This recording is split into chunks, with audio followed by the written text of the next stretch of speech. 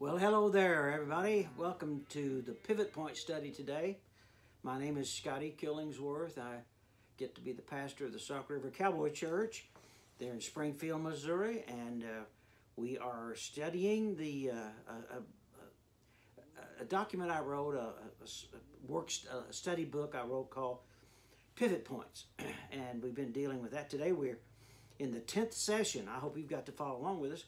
We'll be looking primarily at the book of Revelation today and uh, pivot point number seven. Now, what we're going to deal with today is uh, we're going to look at the two witnesses from the book of, of Revelation, chapter 11. Who are they? What are they? What's it all about? How, we, how can we understand this? Uh, it's There's a lot of stuff going on here. Now, first of all, we have to remember that God was speaking through an angel to this old man John on the Isle of Patmos. He gave him this vision, and this and this angel spoke to him. And now this vision that John had from this angel or from God Himself through the angel was both literal and figurative. Uh, there were images in it, and there's language in it that uh, are, are, are both to be taken literally and then some to be taken figuratively. Now the lack of clarity here, there is in this in this uh, study about the two witnesses, this is really opaque. I mean, it's um, uh, it's it's kind of the big word is obfuscated. God dis, just doesn't hide or doesn't come out and tell us really clearly here what's going on. We have to try to figure some stuff out. But no, oh, no, I want you to notice this. I believe it's on purpose. This uh, uh lack of clarity. I think God didn't. I mean, He could have. He could have just written it out but he wanted us to dig, to pray, to think, uh, and for his reasons. And I don't know why all either, but that's what I, am going to say. Now, prior to this vision, Jesus had interpreted John's visions. Uh, as we study through the book of Revelation and, and others, the, the visions were always interpreted. Jesus would tell him what, what he meant by it, but not this time. There is no explanation. Nobody steps up and says, well, this is what that means, or this is how that goes. Nobody does that. Uh, to John and, uh, and us today, we got to figure it out. So that's what we're going to try to do. What they mean, where are, where are, what are they, what's going on. Those are some things that we're going to try to figure out here. Now, John the Baptist, do you remember him back in the in the New Testament, in the Gospels? He came, and the Bible says he came in the spirit of Elijah. He came in the spirit of Elijah. Now, what does that mean? Well, it wasn't a reincarnation. It wasn't. It wasn't Elijah again. It was that John the Baptist had uh, the temperament, the passion, the uh, the purpose uh, of uh, that, that, Elijah had, and so the Bible says that he came. That he, John the Baptist came in the spirit of Elijah. Now, these two witnesses today they are different because they do not come in anybody's spirit. They don't come in in the spirit of somebody. They are they just show up and they the Bible is lets us know this is a literal interpretation. This is not figurative. This is to be taken literally.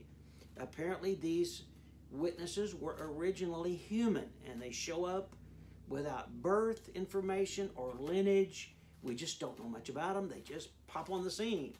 And here they are. And so here we have to deal with it. Now, let's start thinking and digging into this a little bit. And to do so, I want to turn I want you to go to Hebrews chapter 9 verse 27 and I want to read this for you. Just as people are destined to die once and after that to face judgment, so Christ was sanctified sorry, sacrificed once to take away the sins of many. He will appear a second time not to bear sin, but to bring salvation to those who are waiting for him. Now, let me go back and say that again.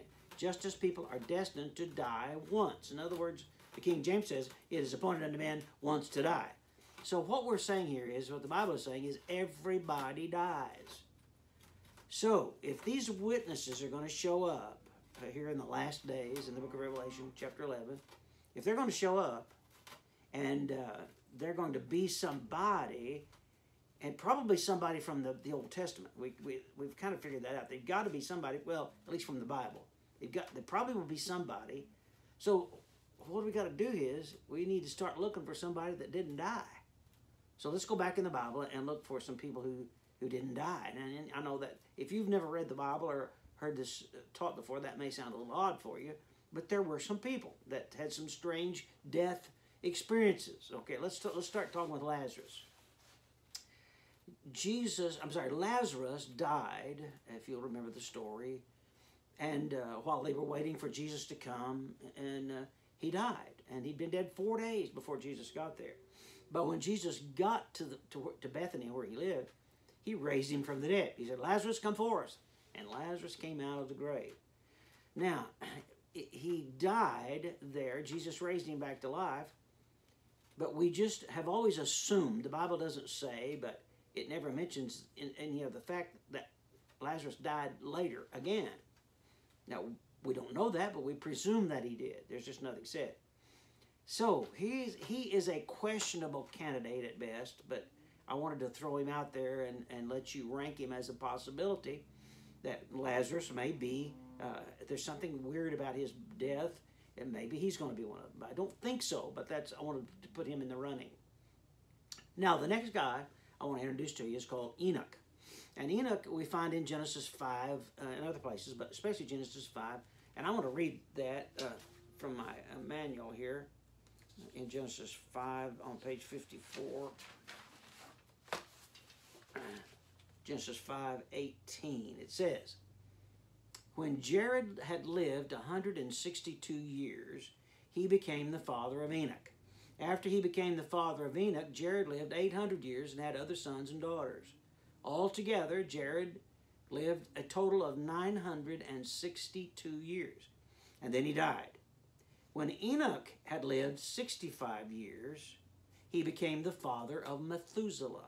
And after he became the father of Methuselah, here it is now, Enoch walked with God faithfully 300 years and had other sons and daughters. Altogether, Enoch lived a total of 365 years. And here it is, verse 24. Enoch walked faithfully with God, and he was no more because God took him away. All right.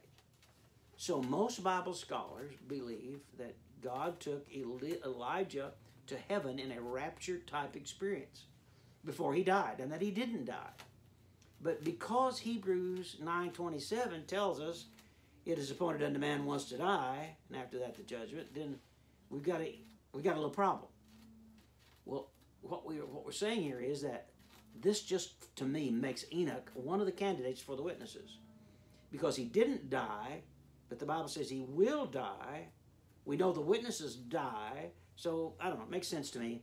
Uh, so let's let's put put on your list uh, Lazarus, which I don't think is is one, and then Enoch, which really to me makes sense. And then the third one I want to talk about is Elijah. In 2 Kings 2, uh, we read, uh, they tell us about a very unusual event following, uh, Elijah. But what happened was Elijah was an amazing prophet, did all kinds of miracles and preached. and But anyway, when it got, when it came, when it came to the end of his earthly life, a, a chariot, the Bible calls it, or a, a vehicle, if you want to do that, if you want to think about that, a, vehicle swoops down from heaven and takes him away. Elijah, and I laughingly say, Elijah was abducted by an alien spacecraft. Well, he, he was, but I, am not, it's not like the modern alien things we talk about today, or maybe it is, but, but the point is, I just say that for, for a laugh. But he was taken away, so he didn't die. Hebrews 27, 927 says he will die. So, candidate number two. So here we could stop right now because we've got two legitimate candidates for the witnesses in, in Revelation. But uh, let's let's go on. I think there there are some others that we want to look at. I want to read Malachi chapter four, and this is um, uh, Malachi chapter four, and it says, "I will send you Elijah the prophet before the coming of the great and dreadful day of the Lord." And he will turn the hearts of the fathers to the children, and the hearts of the children to their fathers, lest I come and strike the earth once. So this prophecy, I think, Malachi's prophecy and other places, has completely fulfilled for my for my satisfaction that, one of the two candidates is Elijah. So we've got two possible candidates now. one questionable, and one and two bingo right on. Mm, Uh, but is there another? And I think there might be something else. So I want to bring that out too. I and just for your consideration. What about Moses? Is what I'm saying. Well, there is some question about Moses, uh, his death. Again, has to do with his death. There is just some uh, odd things there, some some some things that make us scratch our head and say, "What?" Because uh, when Moses died, if you'll remember, uh, he- he was uh, on Mount Pisgah.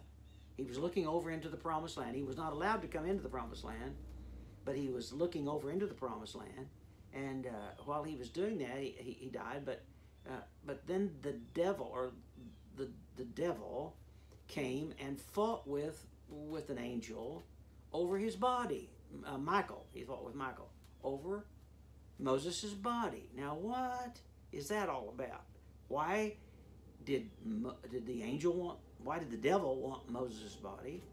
Why did God not want the devil to have Moses' body? Well, that'll set you off on another trail of, of thought, but uh, we're not going to deal with that.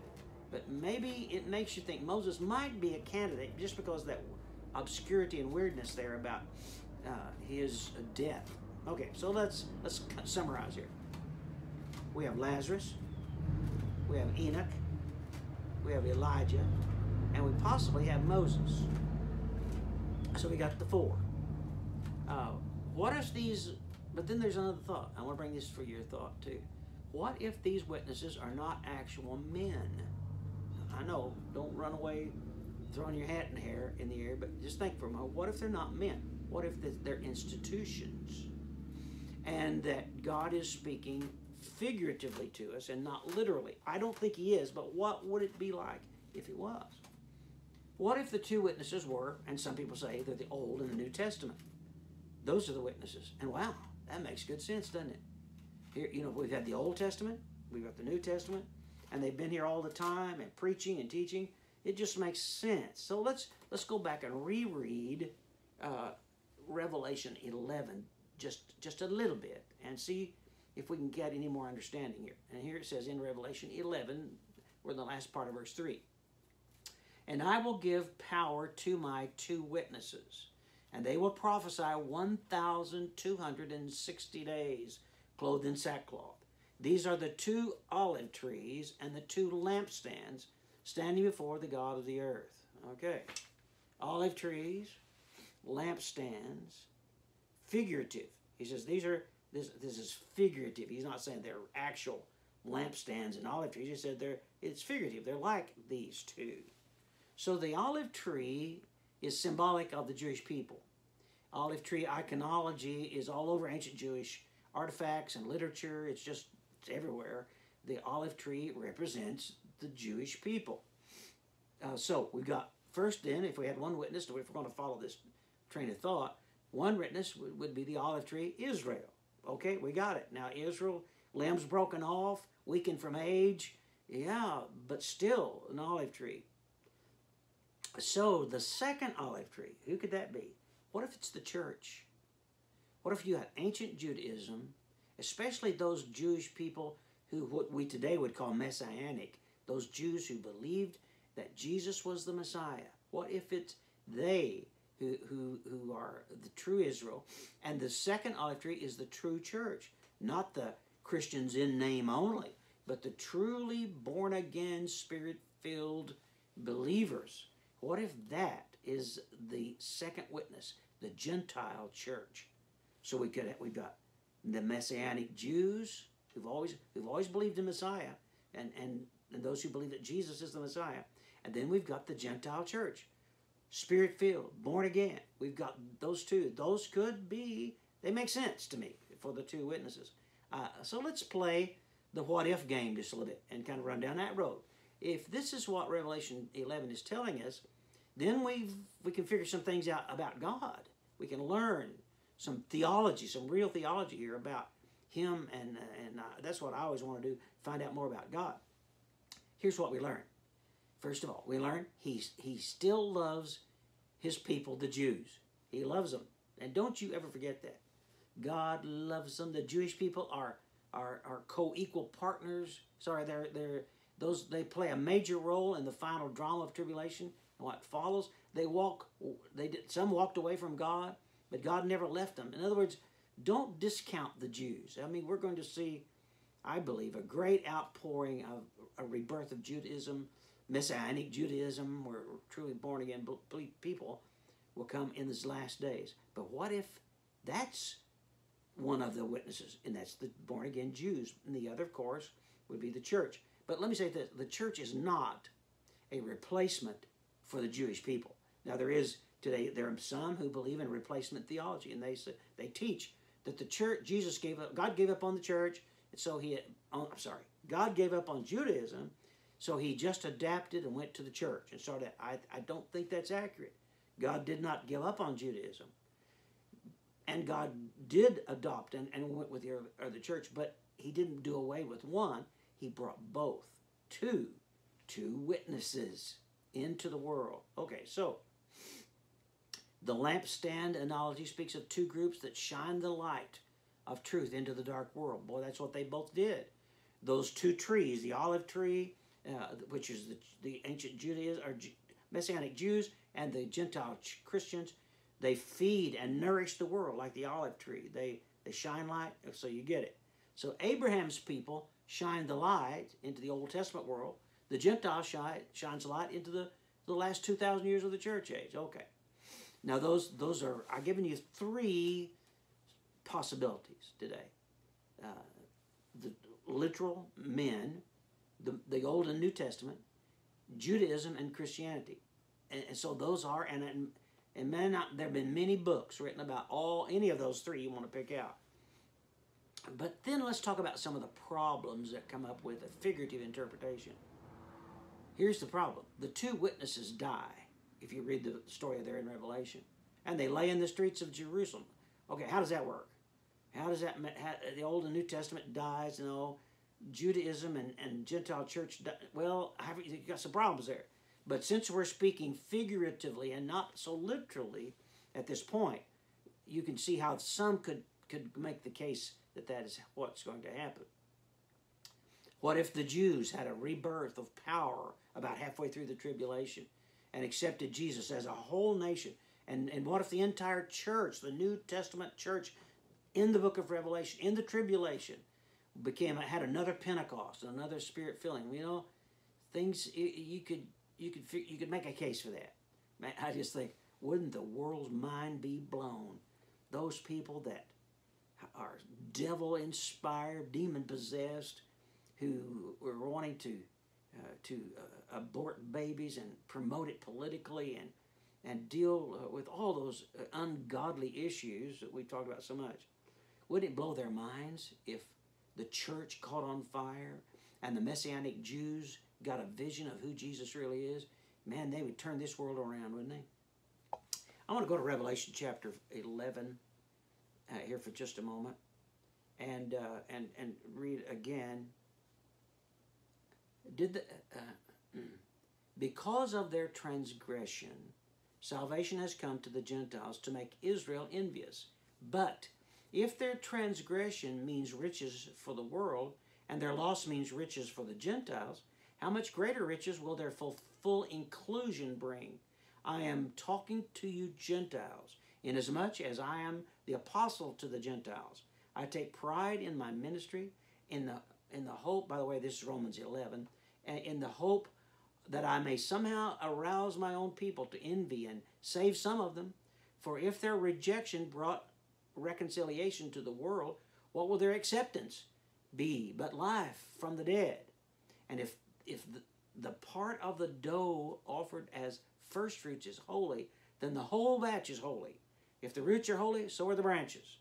If some of the branches have been broken off, and though you uh, uh, though you are wild are a wild olive shoot, as and have been grafted in among the others, and now share in the nourishing sap from the olive root, do not consider yourself to be superior to those other branches. And you can read on and on there about that. I just get excited about thinking about the possibility here of being part of a second Pentecost, of being on the earth in mid tribulation, which I think this fits there. And we watch when when the Holy Spirit in, empowers that troubled church again. And, and we do things like they did in the second chapter of Acts. We speak in languages we've not learned, and we call fire down from heaven. We preach with power and fire, and we watch thousands of people, if not millions of people, come to faith in Jesus. Uh, during those days, those witnesses, as we know, they can stop the rain, turn water to blood, cause plagues. Hey, I want some of that. Sign me up. I'd like to do that. So when these two witnesses dies, the world rejoices. And, and quite honestly, don't you think that that the rejoicing of the world, we can see how that could even be beginning now? Because there are people who hate the church. They, they hate what we stand for and what we, uh, because they think we're trying to keep them from enjoying their life. We're trying to make them feel guilty. And of course, we're not. We, we, sim- we love people. We love sinners. We love them. The, Jesus loved them. The church loves them. And, but we cannot agree and say what they're doing is right. We love them, but but they're sinning, and uh, but that they don't like that. And so, when the when the church is out of the way, there's going to be rejoicing, just like we read about here in in the book of Revelation. They're going to the, the lost world can echo all uh, destroy all the echoes of religion and give it they're full allegiance to the beast. And these two witnesses, when they're out of the way, the world is going to party, party hardy. Now, just imagine now the party's going on. I mean, all over the world, the sinners, the lost people, those that didn't believe in Jesus, never believed there was a God, they're partying like there's no tomorrow. And the, the cameras are rolling in Jerusalem on these two witnesses if they're men, and I think they are, on these two men laying dead in the streets of Jerusalem. And the camera's watching them. They're dead. Party on, dude. Party on. But something crazy is about to happen, which is going to stop the party all over the planet. And you know what it is? The two witnesses who have been killed are going to come back to life. They're going to stand up. They're going to get up. They're going to start breathing again. Whatever was, whatever happened to them that killed them, it's been it's been uh, fixed and they're going to be resurrected and come back and uh, wow it's going to be crazy i'm going to turn now in my in my uh, study guide i'm going to read this to you from uh, the book of revelation 11 11 now after the three and a half days that's how long they've been dead now after the three and a half days the breath from god of god entered then entered into them and they stood on their feet and great fear fell on all who saw them. And they heard a loud voice from heaven saying to them, Come up here. And they ascended to heaven in a cloud, and their enemies saw them. And the same hour, at, in the same hour, there was a great earthquake, and a tenth of the city fell. That'd be Jerusalem. The, in the earthquake, 7,000 people were killed, and the rest were afraid and gave God, gave glory to the God of heaven. Wow. Okay. There's a lot of stuff that's going to happen that it's kind of neat, isn't it? Okay, so we got Enoch and Elijah laying dead on the streets of Jerusalem, and they come back to life. Uh, the beast killed them. The beast, we'll talk about that next week, who the beast is. The beast killed them, and everybody partied, and now they're back. And uh, folks, it's going to scare the living spit out of the demon-inspired hellish remains on earth. Who's those people that are here, that are running things, uh, who are d- devilish and godless, they're going to be scared to death. And the saved saints, those on the earth, those that are here at that time, are going to be raptured. They're going to be translated and going to be caught up into heaven. And uh, and that's what I think is we call a mid-trib rapture. And that's where I lean toward uh, in my own personal theology. I, wherever you pick out it's fine. We're not going to fight over that, but because I just think that's where it's going to fit. Now let's go on because this it just gets crazier. After the two rep two witnesses are they die, they come back to life, they, and they're raptured, and then there is a rapture of all the living saints, every born again Gentile Christian, every messianic Jew. They're translated and they move up to, the, to meet the Lord in the air. And then The next event is what we're going to deal with a whole lot in pivot point number nine, but I'm going to give you a little little taste of it here. At that very moment, a great earthquake shakes the earth. And, and I believe, uh, more accurately, it could be referred to as a pole shift. Now, I'll explain that a whole lot more in the next, in the next meeting. But as you know, our, the, our North Pole, there's a magnetic and there's an actual uh, pole. The magnetic North Pole drifts and it moves in different directions. It's been in several different places over the millennia, over the thousands of years. Right now, it is moving toward uh, Siberia, we're told. Not that that matters. But what I think is going to happen, and we'll talk about this a whole lot more in, in the next pivot point, something is going to pass through our solar system between us and the orbit of the sun. It's going to pass through the inner the inner orb, inner planets, and it's going to be so gravitationally heavy that it will disrupt uh, the uh, planets. It'll disrupt the rotation of planets. Uh, it will literally cause a, a polar shift where that North Pole will slide back quickly to its original North Pole position. The, the uh, electronic or the, the magnetic North Pole will slide right back to the, uh, to the Polish, the pole that goes through the middle, the, the imaginary pole that goes through the middle of the earth. Now, when that happens, uh, we're going to see uh, an, an, an, asteroid bombardment of the Earth. Because when that passes through the Earth, uh, we're going to see things happen like has never, never been seen by modern humanity. Some people talk about uh, uh wormwood, uh, Nibiru, Planet X, the, that lost planet. You know, you, you're going to hear this called a lot of things. If this is new to you, get on uh, internet and just Google uh, Wormwood or Planet X or Nibiru and see what you can find out about that.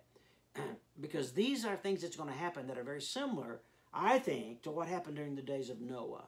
This is what happened, in my opinion, was that same body, that same group of planetary whatever came through our inner solar system and caused all kinds of problems and, and etc.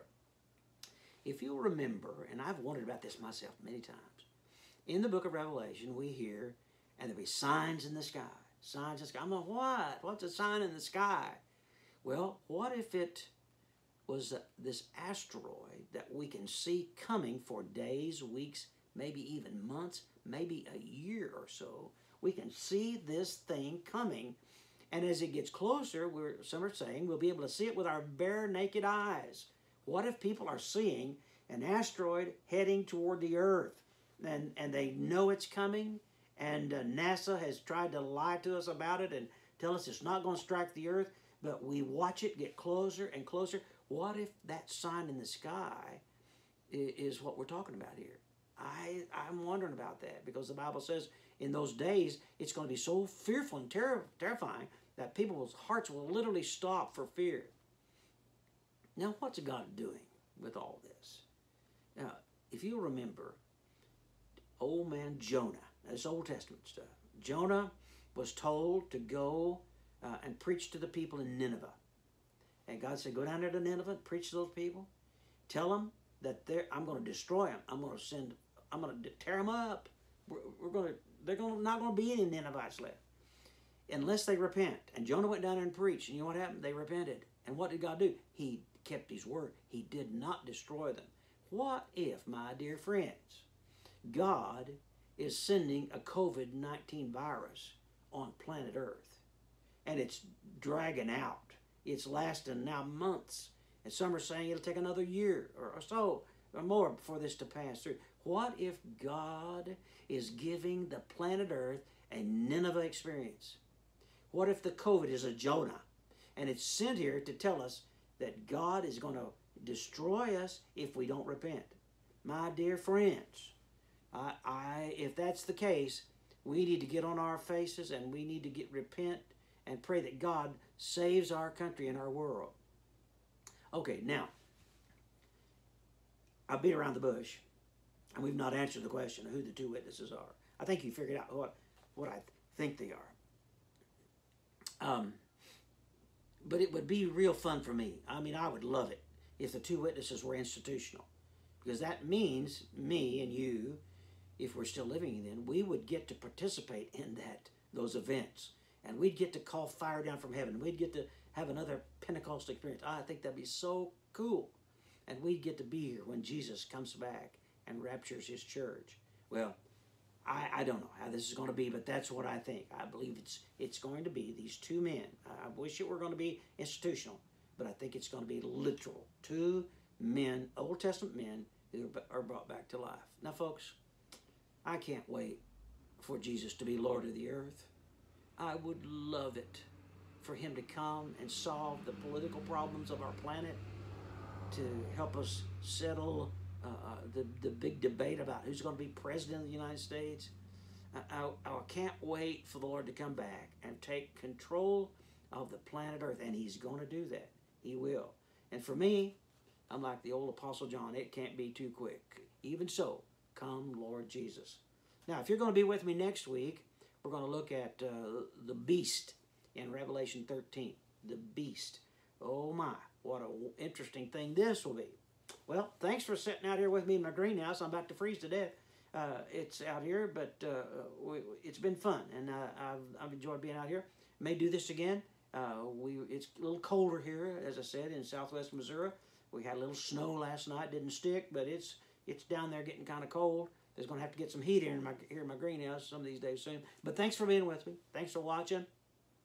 And I hope you're good. I hope you're handling all the pandemic well. And I know so many of you are tired of of it, tired of being isolated, and tired of being afraid all the time. And, and I, I don't want to tell you, just just hold on, don't give up. God's done something, and I can't wait to see what comes out. But God bless you. Thanks for being with me today. See you next time.